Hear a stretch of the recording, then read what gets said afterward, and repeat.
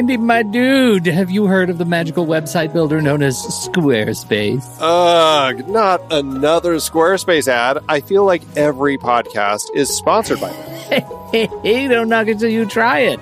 Yes, okay, it is overhyped, but actually, it lives up to the hype. Squarespace is like a website fairy godmother. With a click of a button, your site transforms into a beautiful masterpiece. A website fairy godmother? That sounds interesting. What makes it so magical? Well, for starters, those slick templates make anyone look like a professional web designer. Pick one, customize the colors and fonts to match your brand, and voila. Plus, the drag and drop fluid engine is so easy, your grandma could build a site on Squarespace. Well, she did knit me a lovely scarf last Christmas. Maybe website design is next. Exactly. And when you're ready to sell your Nana's handmade scarves online, Squarespace has built in e commerce. Add a store with one click, get flexible payment options, then watch those sales roll in. And when she wants to teach others her steezy scarf skills, Squarespace's new courses feature is just the ticket. Nana can set up her curriculum and enrollments and payments in a snap and become the next e knitting influencer. Oh, wow, you really sold me with the grandma angle. Sign me up for that free trial. Just go to thenextreel.com slash squarespace and transform your site into a beautiful Squarespace masterpiece. Well, thanks, Pete. Even though it's overhyped, Squarespace actually sounds perfect for Nana's site's needs. Appreciate the warning on the ads, though. I'll brace myself next time I listen to a podcast. Anytime. Let me know if you need any help getting that site up and running.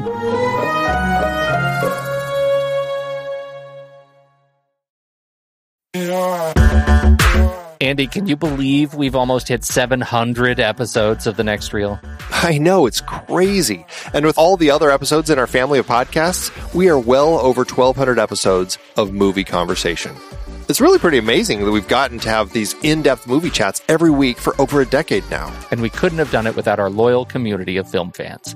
Their support over the years has meant so much. For sure.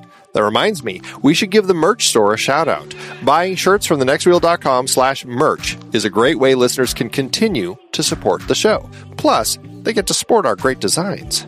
Absolutely. I think sometimes folks forget we have a variety of shirts, mugs, phone cases, and more available. In fact, a great place to start is with a shirt sporting the Next Reels logo. We also have that classic Fast Times Spicoli Surf School tee or the weirdly popular Rusty's European Tour shirt. The one from National Lampoon's European Vacation. Why is that so popular? Search me, but we have sold a ridiculous number of those. I guess there are a lot of Rusties taking trips to Europe. We're always adding new designs based on movies we've covered, like our brand new design for a streetcar named Desire, featuring a streetcar named Desire. So if you want to rep your love of TNR and films, head to thenextreel.com slash merch. Every purchase helps us continue to have these weekly in-depth conversations. So visit thenextreel.com slash merch today. And as always, thanks for listening and being a part of the Next Reel community. We've got lots more great movie chats coming your way. I'm Pete Wright. And I'm Andy Nelson. Welcome to the Next Reel. When the movie ends, our conversation begins. In just a matter of seconds, you're going to hear a classic episode of this show from back in the day when we called ourselves Movies We Like. It took us a while to settle into the show's format, so you'll notice some differences as you listen to these episodes. For instance, it takes us a bit of time to actually get into the conversation about the movie. Things like that. But we're still proud of the conversations about the movies themselves, and we think they're worth keeping in the library. So enjoy these episodes from our back catalog. And you can become part of our Discord community, learn more about the show, and find out how you can become a supporting member at thenextreel.com.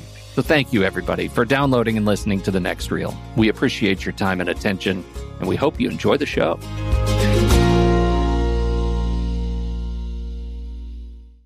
Uh, we have some follow up.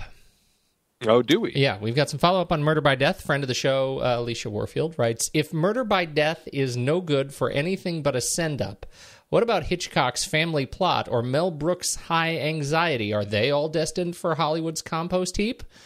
So my question for you, Andy, is: Do you remember your position on uh, on this one, or do you uh, do you want to flag it? I well, I remember feeling like it was it was uh, fair to Midland. Yeah. I, I, didn't think it was anything super special. I'd rather watch Clue over Murder by Death. Uh, you know, it just the it, it felt very stagey. But what about your what about comparison to these other two films, Family Plot and High Anxiety? Well, Family Plot is uh, definitely a, a, stranger Hitchcock film. Um, I don't know. I just uh, I, I don't think I, I, I don't know. I don't know if fa- Family Plot was intentionally supposed to be goofy. Was it? or was it just Hitchcock making a bad film? I, you know, I, I'm really actually relieved to hear you say that because it's definitely not one of my favorite films of Hitchcock. It's oh no, he deteriorated. His quality yeah. definitely kind of slipped toward his yeah. toward the end there. And, and Family this, Plot, I think, is is his biggest slip. Yeah, it's it it really is. So I, you know, when you say about Family Plot, plot is this one destined for the compost heap? It's uh, to me, it's at the bottom of the compost heap. Like it's already there. It's yeah. food for worms. Uh, what about High Anxiety though? I've never actually seen it, so I I can't speak to that because I don't know. Uh, I mean, but it's Mel Brooks, so it's like I don't know. It, it, I don't know. I don't know enough about it to put it in context of his other films, I guess. Yeah, I well, I I think you know Mel Brooks is it's one of those where I, I know what I'm going to get with Mel Brooks. You know, I, I know exactly what I'm going to get. I um I find Madeline Kahn and Cloris Leachman and I just the the Mel Brooks cast. I find them funny. Just they could just sit there and not do anything, but give them even a modest script, I'm likely going to laugh. My memory of high anxiety, it's it's not up there with like History of the World uh, Part One. Uh, Spaceballs. Spaceball. Well, it might be up there with Spaceballs. I or it, it might be in there with Spaceballs. Uh, but I History of the World Part One is like is is just a is a tremendous feat for me. I love that film. Uh, so I, I would not put. I would actually uh, here's I would say High Anxiety is better than Murder by Death. But I okay. still love Murder by Death for just different reasons. I love it because of the connection I have with it as a kid, and and but it, it didn't hold up on on last viewing. I think that's where we came out. Yes, I agree. But I appreciate the comparison uh, from Leisha, and I think that it's interesting that she brought up Family Plot. And I'm curious, Leisha, when you hear this, uh, comment on the blog or Facebook and let us know: Are you serious about Family Plot? Because that seemed like a joke. we love Did she you. write that? Yes. We, Did she write that yesterday? she wrote that just yesterday. We love you, Leisha. Thank uh, you for for listening as always. Uh, are we uh, are we good? Can we tell the people where we're from? Where are we from?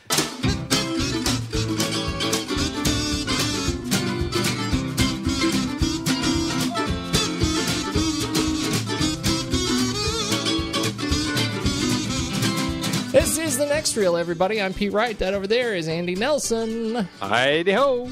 And we spoil movies tonight on the show. The the uh, what is this? The third, fourth, third. This is the third. The third in our 2015 film noir series, with a controversial 1945 Fritz Lang Hollywood noir Scarlet Street. Before we get to that, though, you should learn more about us at thenextreel.com. Follow us on Twitter and Facebook at The Next Reel, and if you know what it's like to stand up for a woman, to protect her honor in the dead of night from a malevolent stranger in 1945, then you might be ready to head over to Instagram.com slash the next reel and play the next reel's Instagram hashtag pony prize, hashtag guess the movie challenge. Andy, how do we do against our pilloried pals this week? Wow. Listen to you.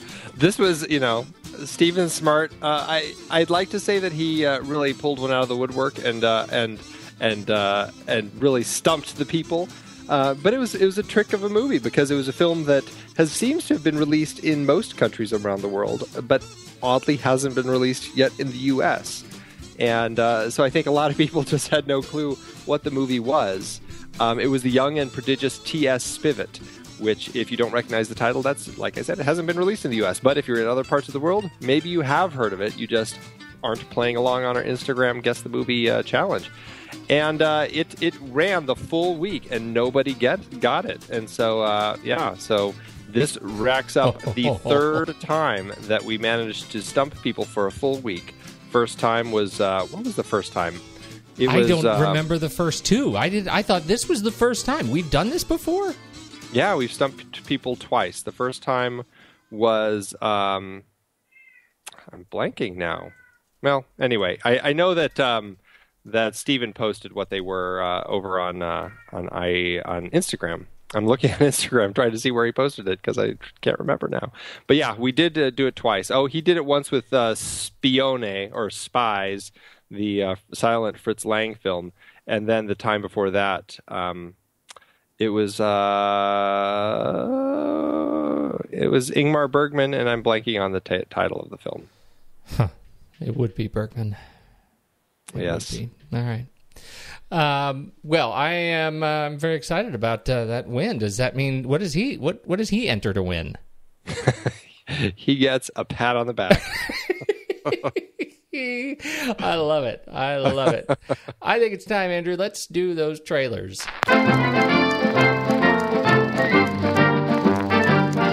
I think I should go first.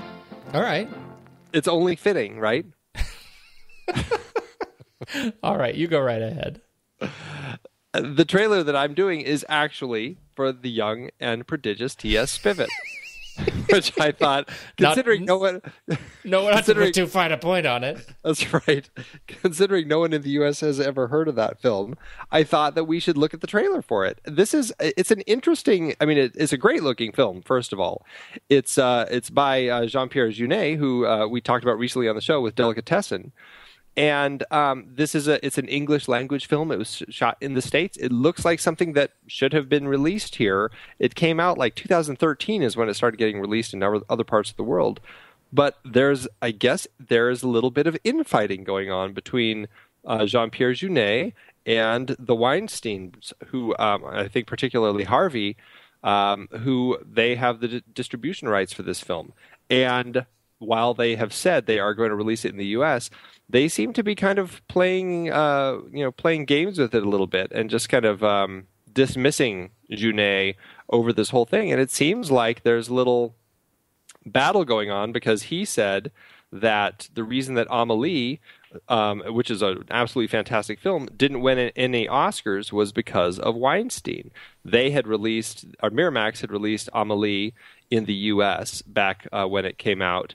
And it was nominated for five Oscars, but because this was that point when you know you remember with the Oscars and everybody getting on Weinstein's case, how he was buying, uh, basically buying the Oscars for people and stuff. You know when things like um, uh, you know, th- what's that uh, that crazy uh, Italian actor who won oh yeah, for best beautiful. actor? It's a beautiful, Uh, or beautiful life. Uh, yeah, what's his? yeah, yeah, it's a it's a right, and uh, but he won for best actor, and Roberto Benigni. Benini. Benini. Benini. I love everybody. I love you. I I love everybody. um, which was very fun to watch. But people were saying, "Oh, come on, that's not serious." And same with Shakespeare in Love. It's like he's buying these Oscars uh, for these people, and this was right at the downfall of all of that. And and he said that uh, Jeunet said that because of all the um, this the uh, you know people getting irritated with Weinstein, nobody voted for Amelie. And uh, and so I don't know if that's created a bit of a, a tumult in their relationship, but because of that, this film it just doesn't seem like it's been released over here, even though they promised or they said that it's likely to get released sometime this summer. It looks so good. It does. It, looks, really crazy good. Yeah, and it's it's disappointing that it hasn't been released. This is a story about this this young kid who uh, he's he's only ten, and he invents something that wins him an award at, in Washington D.C. And his his parents are very quirky. His dad's a cowboy. His mom looks like kind of a uh, you know a, what's a bug bug collector called? I can't remember. But anyway, so he's got a, a scientist. She loves collecting bugs and studying insects, and um, he, he's got this very quirky family, but he kind of sneaks out in the middle of the night to go on this journey across the country from like Montana to uh, to DC in order to collect his prize. And it just looks really quirky, very sweet. It looks like a wonderful children's film, like a family film. And I just can't believe it hasn't been uh, released, and I can't believe it's going through this uh, ridiculous uh, uh, problem that it's having. Entomologist. Entomologist. Thank you. I'm going to cut that in and just pretend like I knew what that meant the whole time. You're so smart. Well, I agree with you. I think it looks really, really good, and uh, you know, it's it has that it has a strange sort of Jean Pierre Jeunet feel to it, um, but uh, not as weird as Delicatessen. Really sweet. It just looks sweet. Exactly. I'm- it does look sweet. Really looking forward to it, and I hope they figure it out. I do too. When- it's uh, so we don't it's we don't releasing. It's releasing in Sweden on April 3rd. By the time people are listening to this show, it will have been released in Sweden and Hong Kong at the Hong Kong International Film Festival. But it's been a really slow rollout around the world, starting back in September 2013 when it first played at the uh, Donostia San Sebastian International Film Festival in Spain. So it's been really taking its time. Oh, that's really sad. And no release dates in the U.S. listed yet. All Here's right. hoping. Here's So watch the watch the trailer, everybody, and then call Harvey. I'm sure his personal number is listed on the internet somewhere. I think it's at the end of the trailer. That's right. And tell him you want to see it. Yeah. uh, my trailer you will be get uh, be able to see. Uh, um, it, it brings Andy the mysterious Ben Kingsley in touch with his afterlife, and that afterlife is Ryan Reynolds in director Tarsem Singh's new film Self slash Less. Uh, the story is pretty straightforward. Ben is old, he's dying of cancer, but he's rich, and because money can't buy happiness, he puts it toward a new body instead so that he can live forever and ever. Amen. That new body is Ryan Reynolds. So it's a body switching thing, and there's memory lapsing, and people are sad, and then they get mad, and then they get even, and the wah da doo da. So I like me some Kingsley, you know I do, uh, when I can get it. And I've been told that I bear a hunky resemblance to Ryan Reynolds. So, uh, as you well know, I'm on the record on this very show. Uh, but this film might just be too much face off, face slash off for me to be really fantastic. And that's a tough comparison to shake in my mind. I don't know what to make of it. Still, Singh's uh, most recent film was Mirror Mirror with Julia Roberts and uh, Lily Collins, which I thought was a lot of fun, and it boasted some terrific visuals in an otherwise charming family romp. Uh, before that, he helmed uh, The Cell, that creepy uh, Jenny from the Block, Vince Vaughn, and Vincent D'Onofrio, who is fantastic crime thriller. That was pretty disturbing. It was pretty disturbing. And then The Immortals, which was uh, Henry Cavill's uh, uh, romp as uh, shirtless romp, I should say, as Theseus, uh, frankly, which I remember more because of Hyperion's cool energy bow, which they stole directly from the animated Dungeons and Dragons cartoon that I grew up with. You're here. Uh, with the uh, that sort of visual like pedigree behind him, I'm going to give uh, Tarsem, Ben, and Ryan, my soul brother, a uh, the benefit of the doubt pass, and uh, I'm gonna I'm gonna give Self Slash Less a chance when it hits. Uh, what do you think? Have you seen Seconds? No, is that another one? That's because you brought this up um, last week or the week before, you, or you briefly mentioned it. Maybe I can't remember, or somebody brought it up during our our uh, film board or something. The new Ryan Reynolds film, I, and I couldn't remember what the story was what, that it sounded like, but it sounds like Seconds, and we're going to be talking about Seconds um, in one of our series coming up um, in in June, I think. And Wait, are you talking, uh, you're talking about the uh, Frankenheimer seconds, right? yeah, yes, exactly. Yes, yes, yes, yes, yes. Oh, you're right. It's that's what it totally reminds me of more than Face Off. It's the exact same story. And I had heard that Seconds was getting remade. I mean, this was a while back. And I was like, well, that's interesting. I wonder who's going to do it and how it's going to turn out. And then all of a sudden it disappeared. And, and I'm just wondering if this is the version of Seconds that uh, ended up getting made. Because It it, looks. be. It looks like it's on the same path, but at the same time, it looks like they also take it into totally different territory. Yeah, it looks it, it really looks strikingly similar. Um, you know, there's the health angle. It's not just I'm I'm in my midlife crisis, miserable.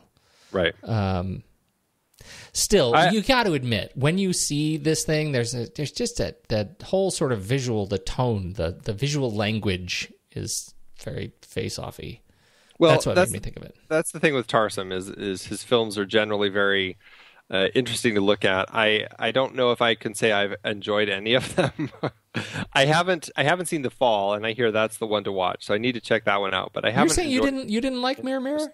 That was fun. I that was one of the most painful movie going experiences. I've- oh goodness. I hated it. Wow. You know the problem with that one is it came out right around uh, when uh, uh, Snow White and the Huntsman. That's not the problem with that.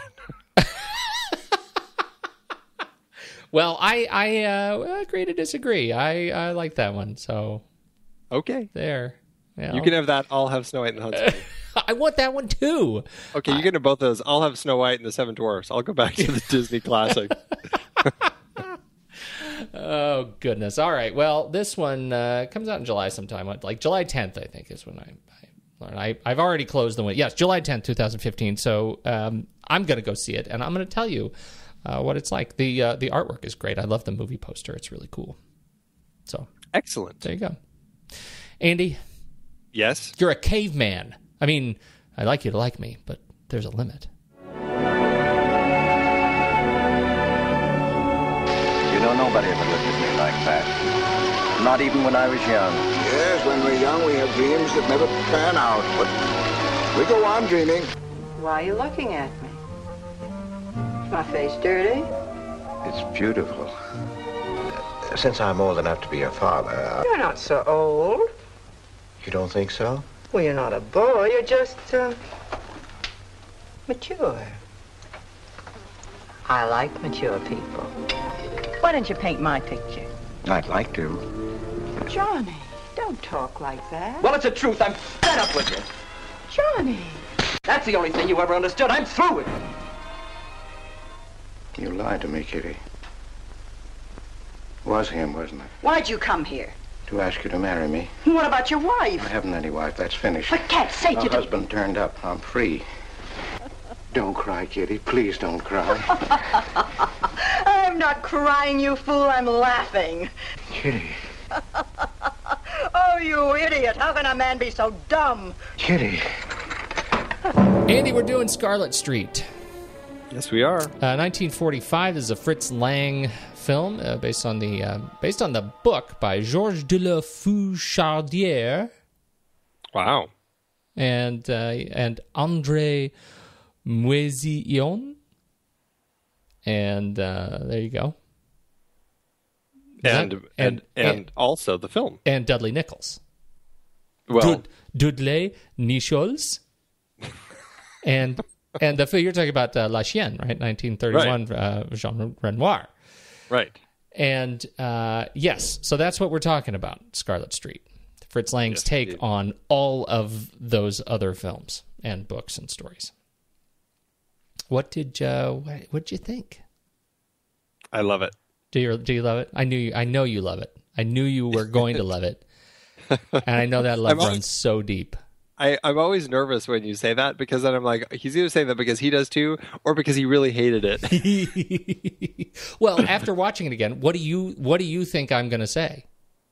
I'd like to think that you're going to say that you loved it too. I'm going to say that. Oh, good. I do. I deeply love it. I, I had a, a wonderful time watching this film, and um, my the the big question that I have for you is: Is the overriding theme of this film guilt or jealousy? hmm You just Jealousy. you just let that you just let that sit. That's my Okay. that's my that's what I keep thinking about with this film. Is is is it is this about is this a film about um, you know Catholic guilt or horrendous jealousy? Well, uh, tell me about your jealousy theory. Because you think it's guilt? Because you're landing on guilt? Uh, I, don't know if I'm landing on guilt uh, either. Well, first of all, you got to talk about what the movie's about. Can you uh, g- give people just a brief uh, uh, summary? Um, sure. There is uh, Edward G. Robinson plays Chris Cross, which uh, I'd like to say that there is more meaning to that name in this film, but there really isn't. It uh, just happens to be his name, Christopher Cross. Um, he is a just a complete uh, pushover of a man who is a cashier. Between the moon and New York City. What's that? Crazy, but it's true. What? What's that? Did you just say what's that? What are you singing? When You Get Stuck Between the Moon and New York City by Christopher Cross. I was trying to give you a little background, uh, appropriate background music. Oh, forget it. Go on. That's pretty funny. I uh, I had completely forgotten that there was a another Christopher Cross out there It's it's uh, yeah. until you gave me that. it's it's actually uh, called uh, Arthur's theme. Yes, that's right. Yeah. Another cinematic tie-in. Maybe Fritz Lang was Yeah, you know, had that I- story in mind when he told this story. I got, must must credit Burt Bacharach, the great Burt Bacharach, and uh, Carol Bayer Sager and Peter Allen, in addition to Chris Cross. Christopher Cross. He never goes by. Go. Would you go on? Uh, yes, please. Uh, so he's a cashier. He's just a very pushover um, kind of guy. He who married his landlady, whose husband had died, and uh, uh, it's just a terrible marriage that he's in. He ends up saving a, uh, a well, quote unquote, saving a young girl from a mean thug one night, and kind of falls head over heels for this young woman, even though it turns out she is with this guy who was uh, was kind of pushing her around and uh, it's it's you know she, she, might be a prostitute, he might be his uh, her pimp. It's kind of hard to tell, but it, or it might just be kind of a very kind of a dirty relationship. But whatever it is, he falls for this girl. Chris falls for this girl, and she thinks that he's this uh, very rich painter because that's his hobby is painting. And basically, she and her uh, her boyfriend slash pimp set up this plan to kind of start taking money, getting him to kind of give them money to uh, to get a new apartment and all this stuff. And so you know, he doesn't really have any money. He's embezzling money. You know, he falls for the femme fatale. He goes down a very dark path and ends up in a very dark place. That's yeah. the long and the short of it. That about does it. All right. So yeah. here's the thing. There, he's an older man. He's he's um, you know older middle age. Would you say? What would oh, you guess? Yeah, I definitely would say he's, he's 50, 50s. Oh, yeah. All right. At the very beginning, he's talking to one of his colleagues uh, at his place of work as they finish an uh, evening. They're standing out on the street, and he sees uh, the young woman. And he says, in this really kind of sincerely longing way, not like a not like a you know pervert, but he says, "I wonder what it's like what, Chris? To be loved by a young girl like that. You know, nobody ever looked at me like that, not even when I was young. Right? And that to me sets the tone for the entire film. Right? That sets the tone for this guy who is married to uh, a, a, woman who's on her second uh, marriage and she's horrible. Uh, and he's in a job that he's good at but is uninspired and he discovers there's this alternative scenario in which he can be a hero to this to this young woman. And he it becomes a codependent kind of relationship where he you know his satisfaction his his level of okay is uh, is only okay when she is okay. That's why he has to start stealing money from his office. He has to start you know, uh, doing things that he would normally not do in order to make her life okay because he is now uh, connected to her. And I think that as the as the story unfolds, uh, we end up seeing uh, more and more of a tale of jealousy. Um, uh, uh, this morality tale of jealousy, right? Of of what happens when you when you let jealousy kind of run your your life, and I find that fascinating. And I say guilt versus jealousy because the first time I saw this film, I thought it was all about it was all an allegory. It was all about him feeling just horrible for the things that he had done. Uh, but I've totally changed my tune.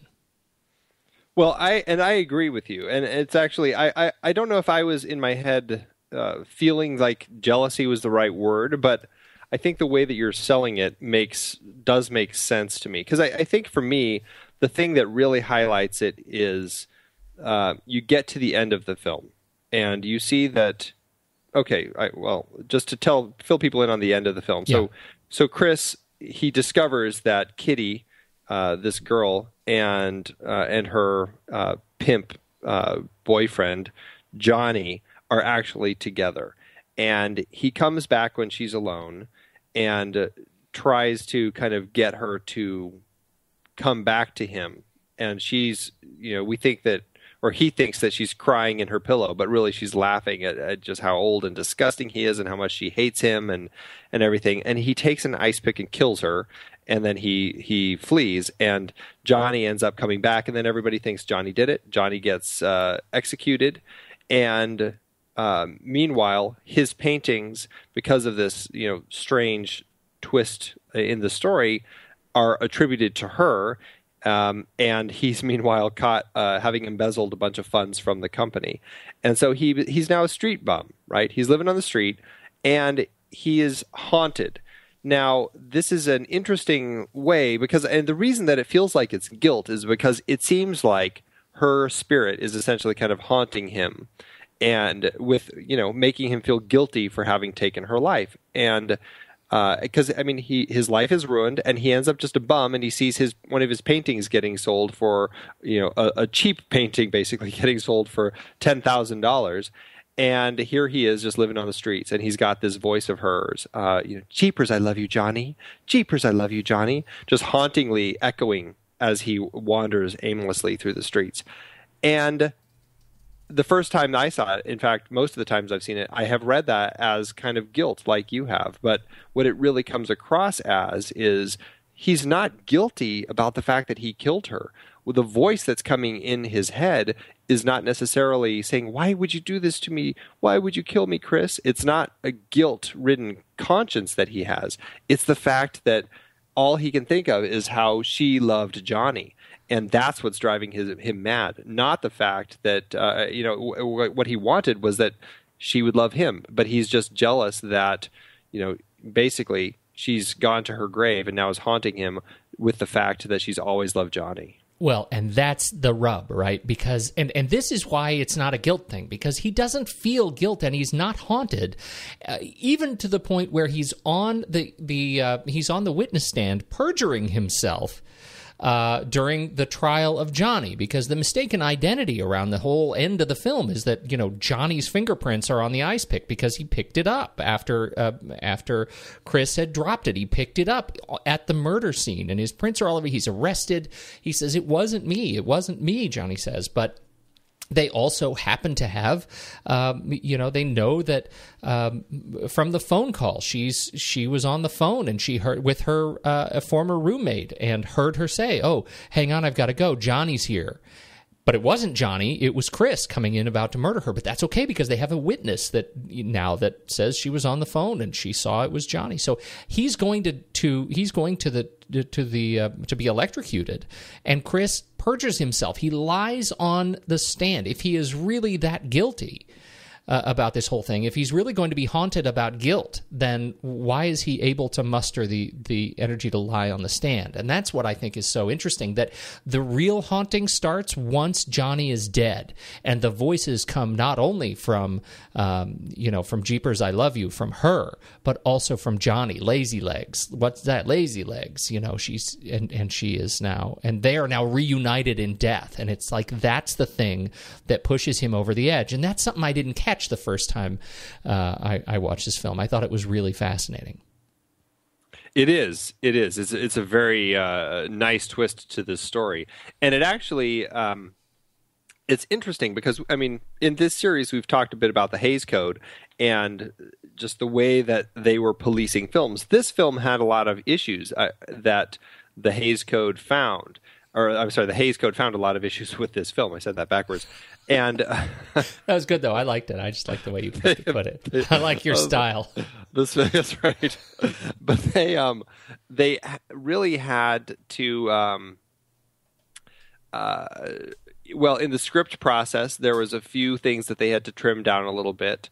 A lot of it was um uh, was it was not done though until after the film was shot, and uh, the producer Walter Wanger and uh, and Universal, who was releasing it, it was going to distribute the film.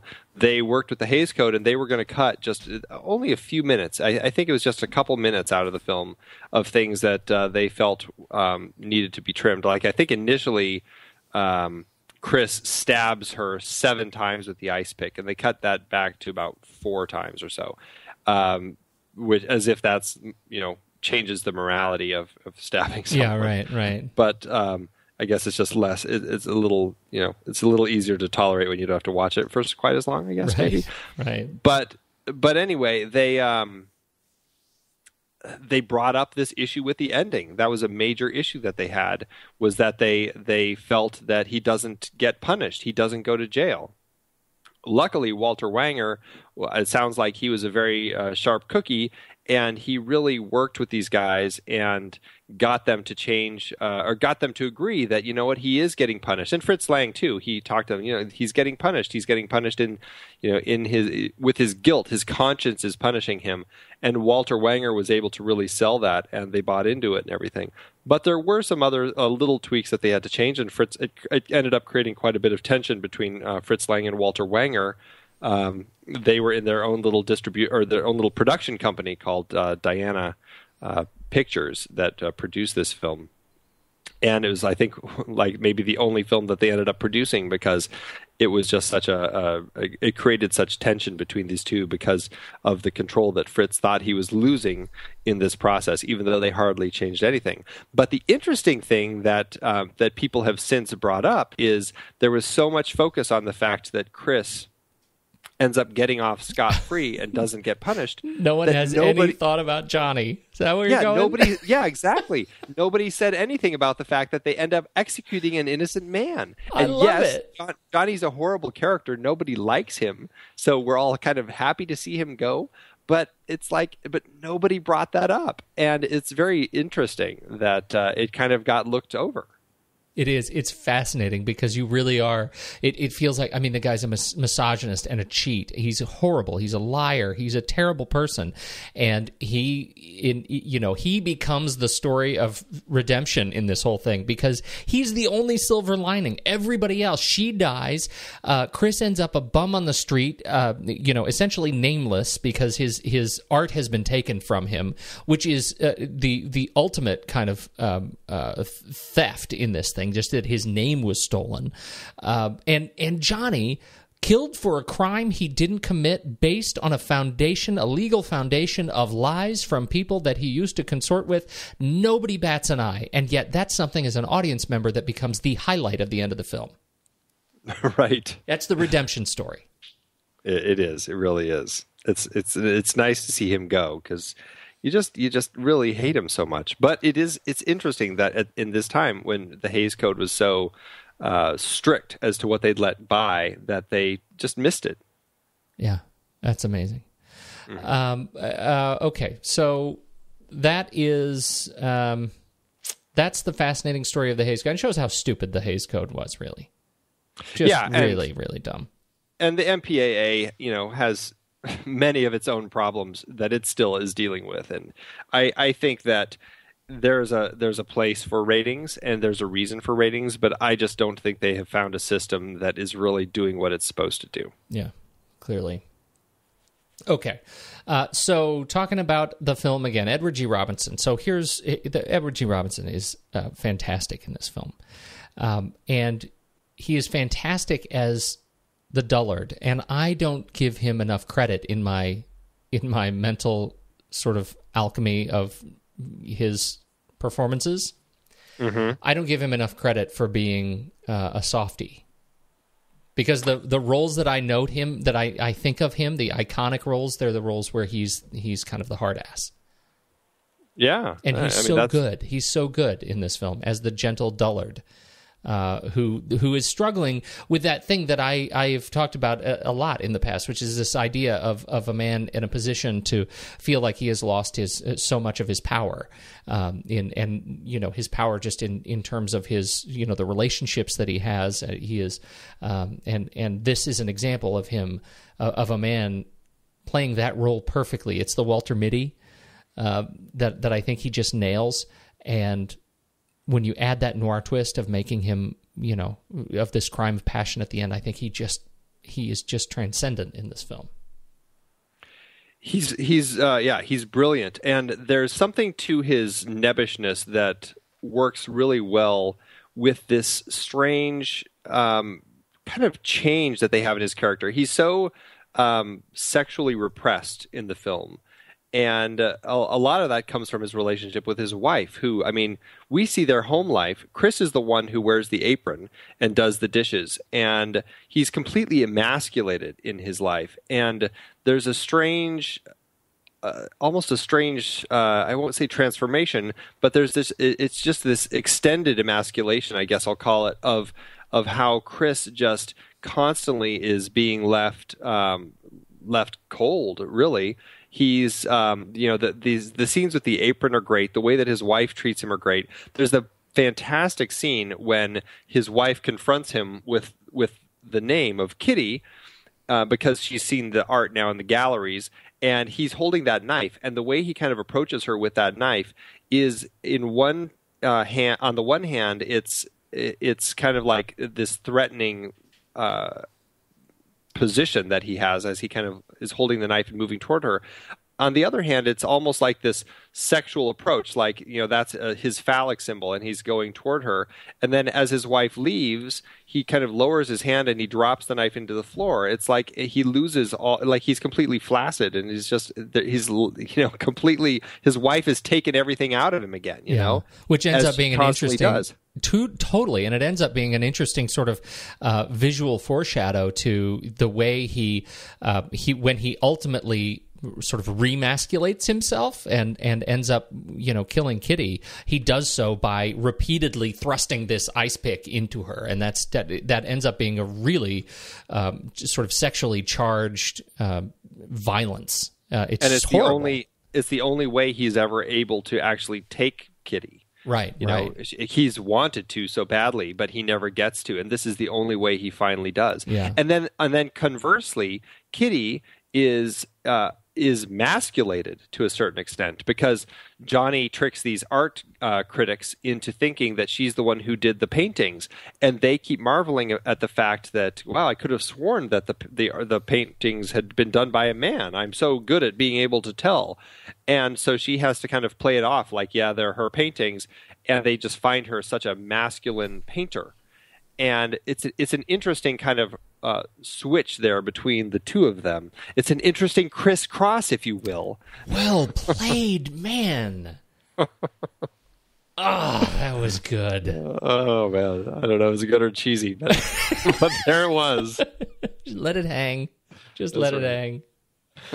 uh, yeah, that's actually a really good point, and and uh, I hadn't I, I hadn't made that connection quite so much, but you're right. They make they they make so many references to their shock and awe that these paintings were painted by um, that that they they might have been painted by a man. That uh, uh, boy, they're they're not shy about driving that point home. Oh, and the other bit about about him being completely emasculated Yeah. when he's when he's talking to his wife about um I, and I can't remember if it's in, also in that kitty conversation but he's just like she says something about uh, you know uh, seeing naked women. He's like oh oh honey I've never seen a naked woman. Well, I hope not. Like what kind of marriage did they have? Ouch It's so good. The uh, you know there there are these little moments, these little sequences that sort of continue that uh, to cement that his position in, in their relationship, which is wonderful. Like for example, uh, as they as as they you know he, she walks into his house and he's uh, he's introducing the painting of her former husband who was killed uh, by you know being a hero and the painting is up on the wall and it actually has his real medal of honor like not a painted version of it but the real medal of honor is is stuck into the painting uh, just to just to showcase kind of look at look at just how small you are in my house. I'm going to put a giant painting of my former husband above our couch in our main living area so that not only are you reminded every day about how small you are next to this, uh, but everyone that comes into our circle is going to be reminded, which I just love. And then they're eating, he's eating dinner alone. He is eating dinner alone at the kitchen table, and she is harping on him to finish eating dinner and go do the dishes.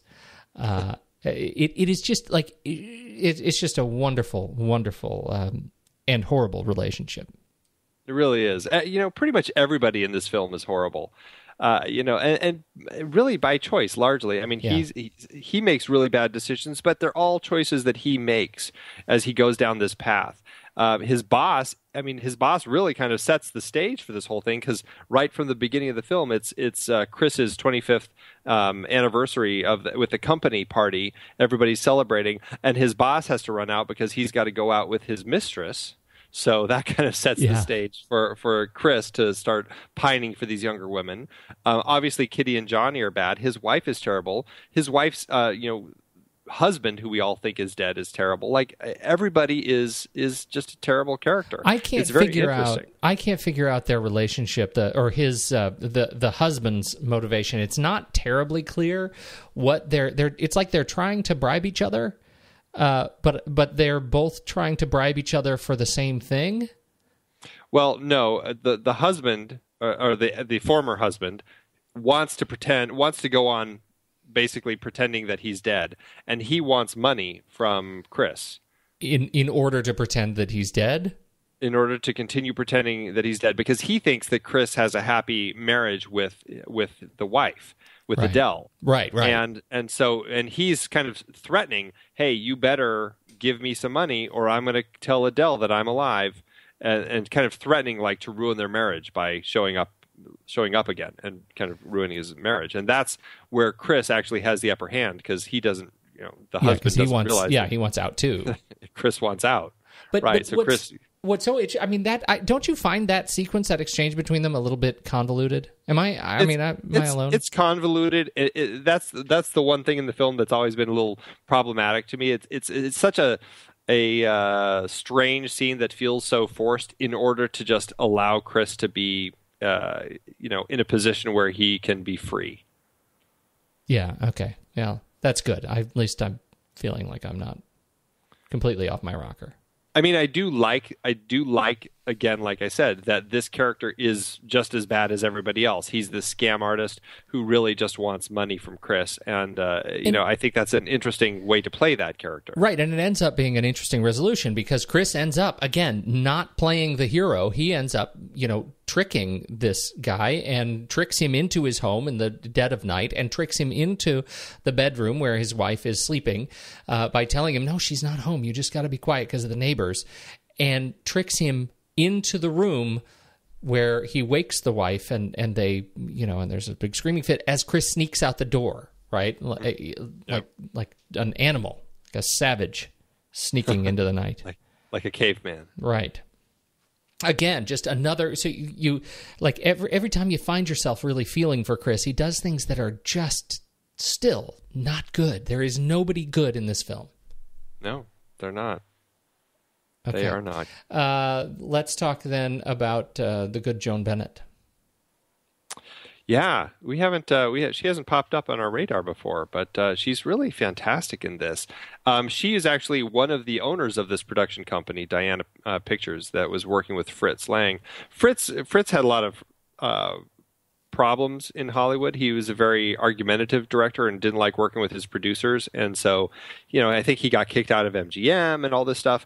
And Bennett really, uh, she had worked with him uh, with on a couple films. I think uh, The Woman in the Window before Scarlet Street, and really liked working with Fritz. So she convinced her husband Walter Wanger to start this production company with him, uh, where Fritz would be uh, the largest shareholder and wouldn't feel put upon by a producer. And, uh, and they turned out a great film in this. Um, so you know, I, I think that Joan is a is a savvy businesswoman. I think that she kind of um, knew what she was doing. This was at a point in her career she had uh, stepped out for a little bit uh, to have kids, and was trying to get back into the swing of things. And uh, you know, she it's you know Hollywood. She's at that age. I think at the time. uh, Let's see, she was born in 1910, so she was 35 years old, and she was afraid that people thought she was already, you know, kind of past her prime and uh, luckily she wasn't. And they um, and, and Fritz uh, put her in this film, and proved that you know she's not too old. She's uh, perfect in in this sort of film or anything else. She was wonderful, and I mean she's an actress who had been acting since she was six years old back in the silent era, and uh, just kind of really carried that through for decades. And then I mean she was on uh, Dark Shadows for um, in the 60s and she was in Suspiria. That was her final movie role. And uh, she just had acted for a very long time. She ended up uh, having a heart attack in 1990 but uh, she had a long and lustrous career. She's terrific in this film as the um, as uh, the the femme fatale. Uh, she is uh, underhanded, two faced, just horrible, and everything that she should be in a film like this. Absolutely horrible. She she's and it's interesting because she's not she's not a very um, active femme fatale, but she's definitely more of kind of a psychological femme fatale. Right, right. It's the it's the uh, what does she hang her hat on? It's the lies of omission. Uh, Yes.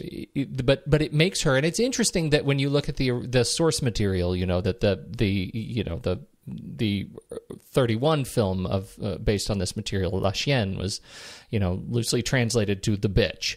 Right. This film is centered on her character and and the sort of dubious nature of of her morality Right. and right. uh, and I, I think that says it you know well enough.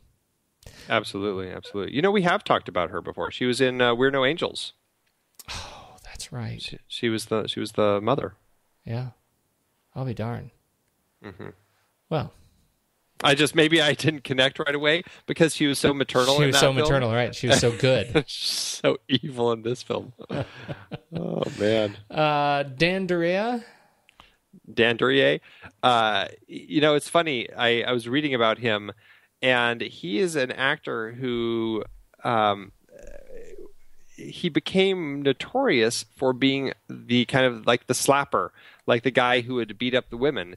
And that, uh, I mean, he did a, a wide variety of films, but that was the thing that uh, people, uh, you, you know, knew him for. And it's not like he was that type of guy in real life, but uh, I guess he really drew his his fans because of how how abusive he was to his female characters in films, which is the strangest thing. But like women would come up and get their autograph, get his autograph, uh, uh, because they loved how much he hit women. That's not good. That's I- not good. It's so strange. It really is strange, but yeah, but he's great and i i, I hear I, I don't know i'm sure I, I I've, he's got a pretty lengthy career i probably have seen him in something and just have not realized it but he's um uh, from what i've read he very much was kind of a great actor portraying this type of character Did you see him in uh, 1949's Criss Cross? i knew he was with in it Burt Lancaster and Yvonne Actually, De Carlo. I have seen Criss Cross, but it's been so long I I couldn't tell you even uh, what it's about. But I, I know I saw it ages ago. He gets to kill Burt Lancaster in that movie. Oh, there you go. Not many people get to say that. um, all right. I he was. I thought he was. Uh, you know, he. What are you going to say about a guy like that? You're right. He is a slapper, and he slaps. You know, if you if you're going to be celebrating the quality of a slap, he's he's he does it well. Uh, he has a. He's, it's uncomfortable to watch him in this film because he is. He really is. Uh, you know, just horrible. This is the one of the things that really dates the film. It's just the casual misogyny, and and he sort of. Um, uh, Well- it, it's actually not quite so casual because he has to be the contrast to Chris uh, Cross's, um, you know, uh, attempted gentleness, right? But part of that is also why I feel like this is actually a pimp and prostitute relationship, more so Yes. than just a sleazy, uh, you know, boyfriend girlfriend, like you know, from the low end of things. It really feels like a like he acts like a pimp toward her. He's always taking, he's always checking all of her little secret stashes for any uh, any spots she could have hidden some money. You know, he's always taking all of her money. Um, he kind of acts like he loves her, but not really. And she seems to be always pining for him. But uh, and he calls her lazy legs. Like it's like her job is to spread her legs for people, but she's lazy about it and just never is making much money for him. Even though he kind of, you know, he kind of likes her, and so he kind of keeps her around and the way he dresses. I mean, this is definitely an over the top style of dress, uh, even for the time. I mean, nobody was walking around like this, but he's he's he's very flashy and showy, and uh, it's just like everything about him screams pimp to me.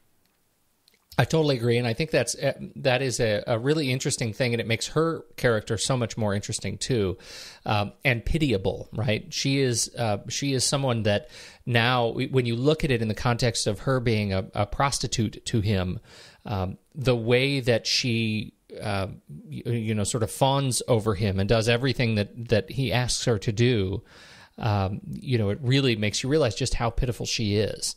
Um, that that she is as lost as as everyone else in this Uh, film. yeah. So Yeah, maybe. Yeah, that's an interesting way of looking at it. Well, thank you. It's kind of, it's kind of kind of you to say. Should we talk about uh, Fritz?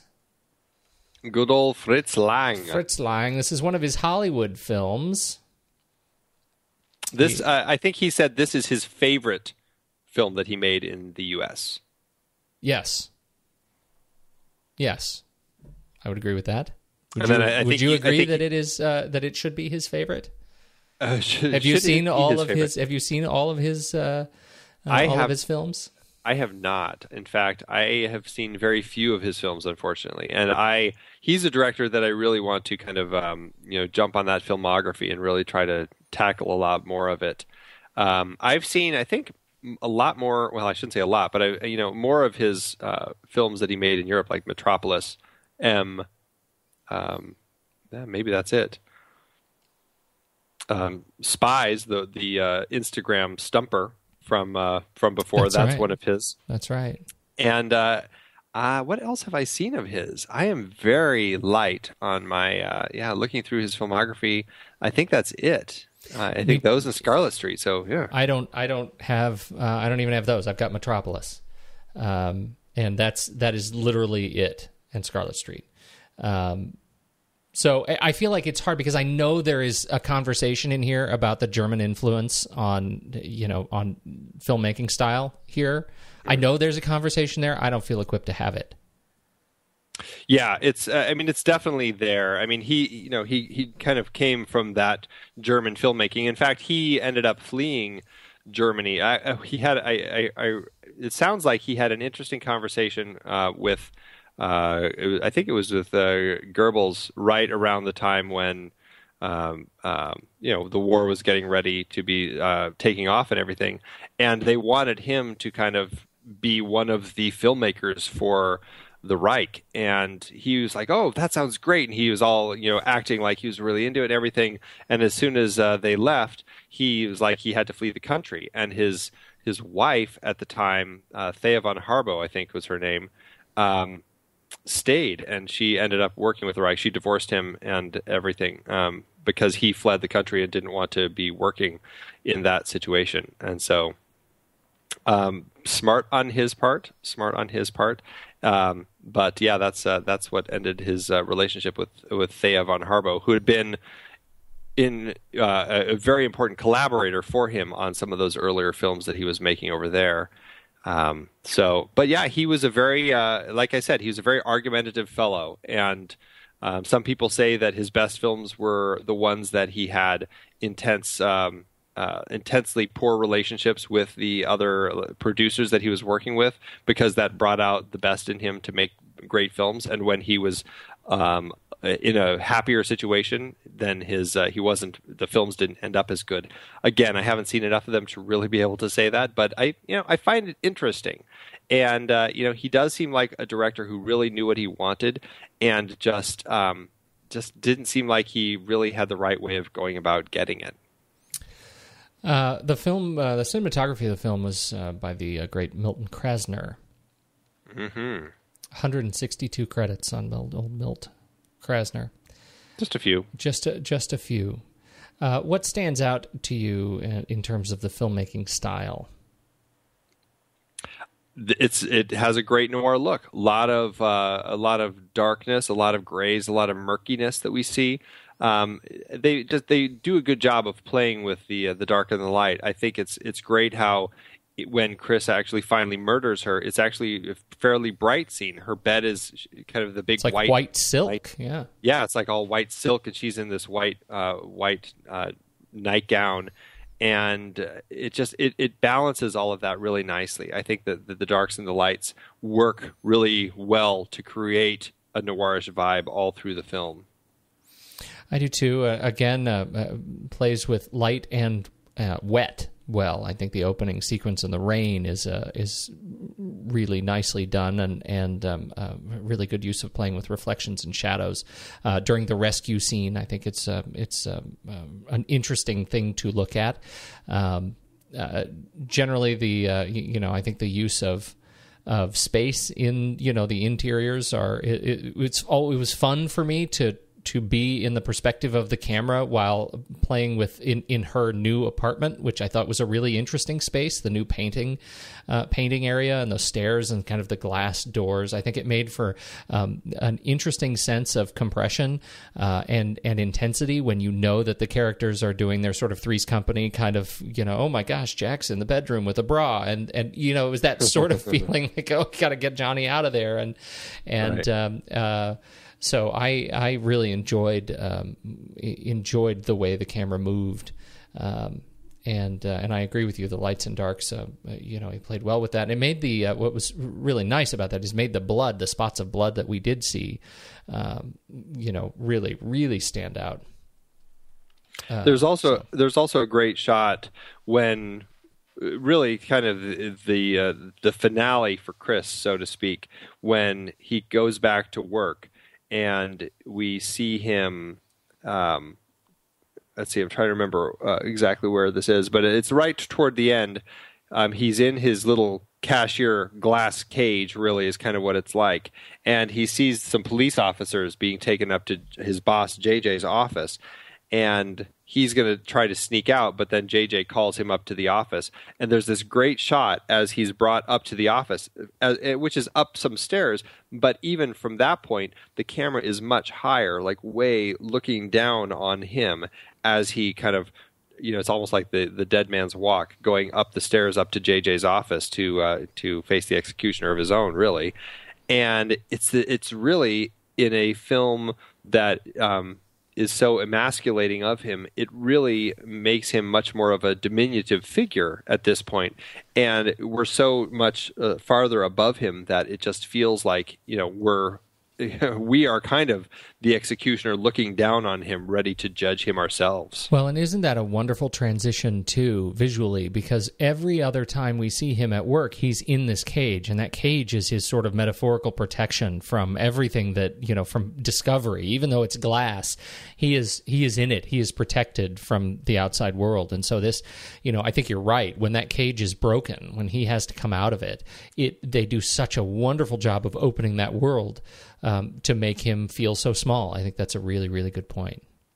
There's also another uh, a great editing cut in there, um, and I can't remember if it's right around the same part or if it might be a little earlier when we see the painting that he painted of Kitty that's titled Self Portrait.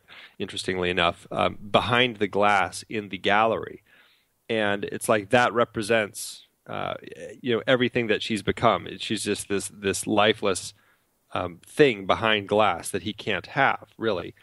And then it cuts to him behind his own glass in, in, the cashier's office where it's like you know he really is almost like you know this this lifeless thing that's just you know stuck inside something that can't get out. Right. it's uh it's just nicely done the way that lang very smartly put this film together both in constructing each shot and then how to cut them together working with his editor. Uh, anyone else you want to talk about specifically? Um, I think that uh, that's mostly it. Although Hans uh, Salter did the music, and I think the music works really well in this film. Um, he did a lot of a lot of films, and uh, I think that uh, this is just he he has a great feel for the tone of this uh, film and for the genre. Did a great job. He did a lot of music in the uh, like the different Universal um, horror films and stuff like that, and. Um, yeah, I think his music works uh, perfectly in context of the film. I um, I'm glad you brought it up. I I I have no memory of the music right now. For some reason, the music did not make an impression on me in this film. Is that strange? Well, it, I don't know if it's strange. It's not a score that I think I would pull up and listen to uh, regularly. But when you're watching the film, I think it works really well to help with the the mood and the tone of the film. I need to watch. I'm going to watch a little bit of it again tonight. There you I, go. I feel like I've done it a disservice now. Can't even think about it. Couldn't even place it. I'm horrible. Anybody else? The last person I wanted to talk about was uh, was John Decker, who is uh, probably not a name that you would pull from the credits readily, but he is the actual artist who actually did all of uh, all of Chris Cross's paintings. And uh, he was also uh, quite famous painter in his own right, and his Oh, yes. paintings hang in the uh, Louvre, and I'm sure in some museum that begins with National. Am I right? His, he has paintings all over the place. Um, he was. I'm making uh, that up for the most part. I can't confirm or deny personally. I I- yeah, I don't know where his uh, paintings hang, but he painted a lot of people in Hollywood. He was uh, friends with a lot of the people out there, and he created some very fun paintings that he did of of putting like um, famous heads uh, uh, on like uh, W.C. Fields' head on a on a uh, um, the head of a uh, or on the body of a, a painting from the Middle Ages of like a middle-aged woman. You know, he would do things like that, where it was just like very comical um, blendings of a famous head on somebody else's body. Um, uh, I think he did one of Harpo Marx on uh, like a little boy, little boy blue painting, and um, just but but aside from those kind of comical ones, he did a lot of really nice just portraiture and other interesting paintings that were really nice. And I I don't know much about John Decker, but I was just kind of poking around looking at some of his art, and I was like, yeah, he actually has some pretty nice stuff that he's done. I guess there's a biography about him called Bohemian Rogue: The Life of Hollywood Artist John Decker. I don't know anything about the book, but I was like, hey, if people are interested in learning more about the artist, then uh, yeah, they should check that out. It is interesting. He did a he did the uh, the giant promotional painting for Swiss Family Robinson, the big 24 sheet movie poster that that was printed, and you can. I'm looking at the image of it right now on the web. It's it is definitely a crisscross painting. he still has trouble with perspective. Interesting. That's really funny. Um, I did like the artwork a, a lot. I found myself really drawn to it, particularly at the end when the self portrait is being carried away to the new owner. I thought that was a really sad and dramatic way for that painting to exit the film. It really was. It really was, and I think it uh, just the, that painting. I really love that portrait of uh, Joan Bennett in this film. I think it's it's haunting. It uh, it's amazing how much of the Kitty character actually kind of comes through in that painting, but also kind of you can get a sense of his his love for her at the same time. The way that she's kind of you know, it's almost like she's emanating a kind of a, a glow about her or something. I think it's pretty fascinating while lacking perspective all at the Do same you, time. do you know where the uh, where the painting is? I don't know where that one is. That would be an interesting little uh, uh, hunt to figure out where that's hiding. I think so too. It was, um, yeah. I, there are some hints. There are some hints to it uh, on the web. I don't actually. I did not actually find where it is. That's too bad. Need to catch that. Uh, how did it do? This film, uh, you know, it did okay. I guess you could say it wasn't a uh, it wasn't a um, uh, a big splash sort of film, but uh, it's a film that still it, it found its audience, and you know, I'd say people. I don't know. I, I, I don't know if people uh, turned out in droves to see it or anything. But uh, although interestingly, when this film, when the people at Universal first saw this film, I think the head of Universal or something said, "This is the best film that we've ever done. This is uh, such an amazing film. This is the film that you know represents Universal Studios." Like he's totally in love with it. Before, of course, the Hays Code got involved and clearly uh, uh, muddled the uh, thinking on the film. But from what I found, it cost about 1.2 billion dollars to make. Sorry, 1.2 million. dollars. This is stunning- really expensive. stunningly inefficient production. Uh, those paintings cost a lot of money. Wow. yeah, 1.2 million dollars, which uh, in today's dollars is about 15 and a half million dollars. It uh, ended up grossing here in the U.S. All I could find is the domestic, um, just under three million dollars, which is about 38 million dollars. So you know, it made its money back, but all told, it uh, it only uh, profited. Well, you know, it's in good company. It actually uh, made a little less money than the Fisher King, but a little more money than Shaun of the Dead. So there you go. it ended up making about 200 $219,400 per finished minute. Well, it's not bad. No, I think it's pretty good. I say we rank it. Let's do it. head over to flickchart everybody flickchart.com slash the next reel and you can uh, you can check out our list of top films Gigli is not at the top hopefully that has been rectified uh, and uh, friend us up there and let's see if our uh, film, favorite films line up with your favorite films uh, as we uh, stack rank uh, 1945's scarlet street i think this one might do uh, i think it might do okay I think it's going to do pretty well. It's funny. The first poster that pops up for it is a Spanish poster, and it was titled "Perversidad," which is perversity, which yep that, that that'll do pet that is pretty funny. All right, so "Perversidad" or "Oh Brother, Where Art Thou?" Hmm. I might put Scarlet Street on before Oh Brother. Wow, interesting. Yeah. Okay, I'll, I'll give you that. I'll say I'll go with Scarlet Street on this one. Let's start the bidding high. That's what I say. Let's. Here you go. There you go. Scarlet Street or the Outlaw Josie Wales. I don't know. What do you think? Ah, that's a tricky one. I may go Josie Wales over Scarlet Street, but I, I, I don't know. I could go either way on this one. I think. I gotta tell you, I'm leaning towards Scarlet Street. Is that crazy? It's not. It's a brilliant film. It's, really Brilliant good. film. I had a wonderful time watching this movie. I really did. All right. Well, I'll go with Scarlet Street. Scarlet Street. Oh, here you go, Pete. Or Fight Club. Fight Club. Yeah, I knew that would be the wall for you. Hit it. There it is. Oh, this one I think for me, Scarlet Street or The Thing. I think I'll go The Thing. All right, I'll give it to you. Scarlet Street or Shaun of the Dead. We know Scarlet Street made more money. Um, I'll go Shaun of the Dead. I'm gonna go Shaun of the Dead. Scarlet Street or The Curious Case of Benjamin Button. Hmm. We haven't had that to rank in a long time. No, we haven't. And I think I'll pick Scarlet Street over that. I will too. All right. Scarlet Street or The Hurt Locker. Wow. Um, I. This is really a mood one for me. It really is. It really is. I see. I'm I'm I'm leaning toward um, Scarlet Street, but I could be swayed. No, I'll do Scarlet Street with you. All right. Scarlet Street or Fargo. Hmm. I might have I to think go I'm- Fargo. Yeah, I was going to say, I, I definitely need to go Fargo on this one.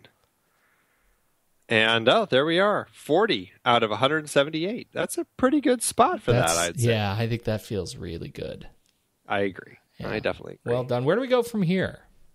Well, we're going to, uh, you know, jump uh, jump back and go out of the past for our next film. Oh, okay. what year was this? Uh, out of the past. Out of the Past? was what year was Out of the Past? I want to say it's uh, 46, uh, but I'm wrong. It's 47. All right. Well, I look forward to it. Uh, this is going to be number four in our 2015 film noir series, and uh, I'm I'm looking forward to it. I I can't remember it. Robert Mitchum, Kirk Douglas, Jane Yeah. Greer. This is uh, if you um, uh, what was the Jeff Bridges movie that they uh, um, remade this as? Starman. Yes, that's it. I'm sure you're thinking of Starman. That is Yes. so funny that you Uh, said that. the only reason I say that is because I I am uh, I have no memory of the film, and I told my dad again. It's all odds. Yes, That's the remake. I told my uh, I told my dad. I said I, we're doing this film noir, and I said out of the past. He said, "Oh, you remember that? We saw that together." now I'm an only child, but I'm convinced he may have seen that with his other son. because I just don't is remember this- it. So you this may be fun. You, you've seen it and you don't remember, or is it possible that you haven't even seen it? It's.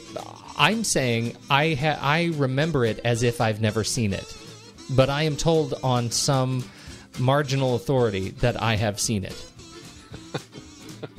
which I, I will know. We'll know soon enough. I will see I- it next week. Yes, we will. Excellent. I look forward to it. Uh, it. It's another fantastic. Do you like it? Uh, do you like it better or worse than this? Where would you rank it next to Scarlet Street? Well, we'll have to wait until next week, won't we? Oh, that's a nice little teaser you just did there. That's right. That's right. I'm going to take that with me, and uh, I'm going to go to bed. All right. I'm going to go do some painting.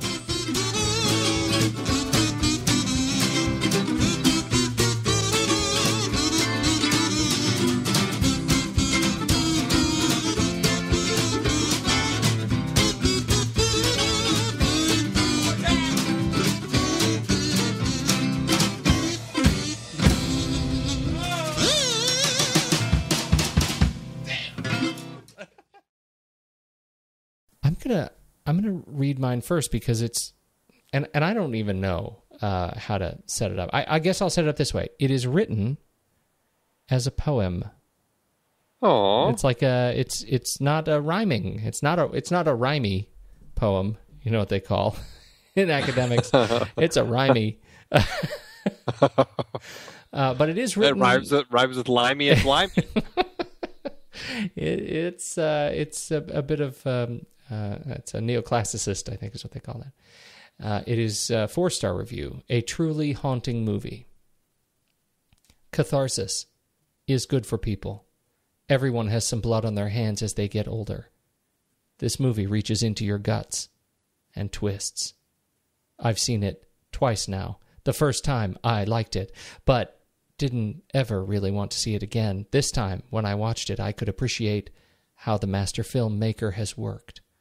It is said to be a remake of the French of, of the French Renoir's La Chienne.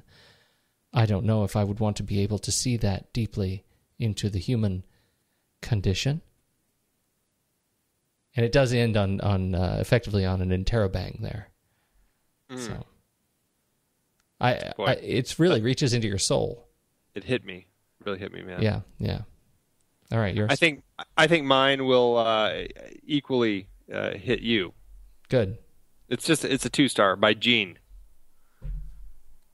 Ready? Oh, yeah. I was giving you a moment of uh, somber silence.